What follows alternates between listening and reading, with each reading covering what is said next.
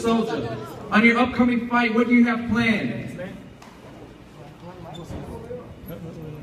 Yo, for that million dollars, man, that's fucking chump change, man. Tell him bring me $10 million, I'm gonna knock his ass out the first round.